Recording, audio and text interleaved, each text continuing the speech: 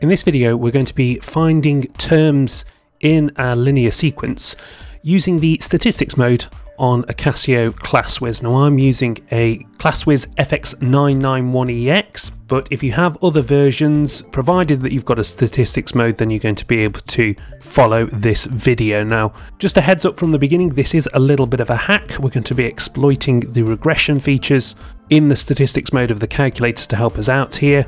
Be careful of the wording of the questions again, whether you can use this in an exam situation or not.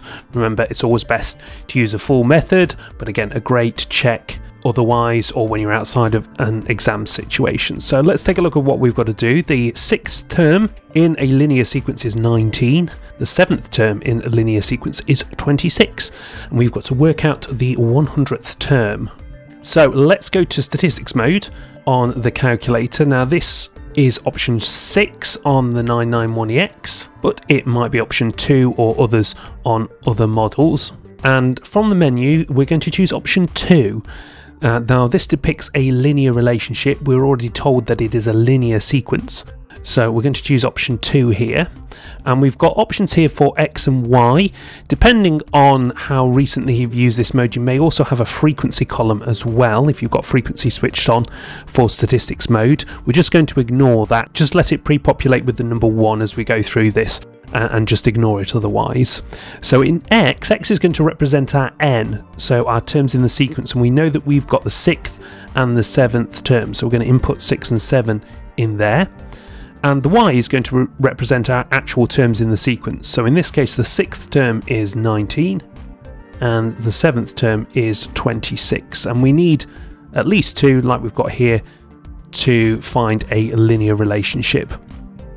So once we've got those two in, what we're going to do is press Option, and then scroll down and we want one statistics calc. We're going to be performing some calculations within the statistics mode. Okay, and so once we're in there, what we want to do is input the term that we want to find, so in this case the hundredths, so 100, and then before we press anything else, option, and then we're looking for regression, so not regression calc on the first uh, page that we've got here, you need to scroll down to the next page and it's for regression. We've got various options here. Now what we want to choose is the last one here, which is Y with a little hat on the top, Y hat. It's got this um, hat shape thing on the top. So press 5.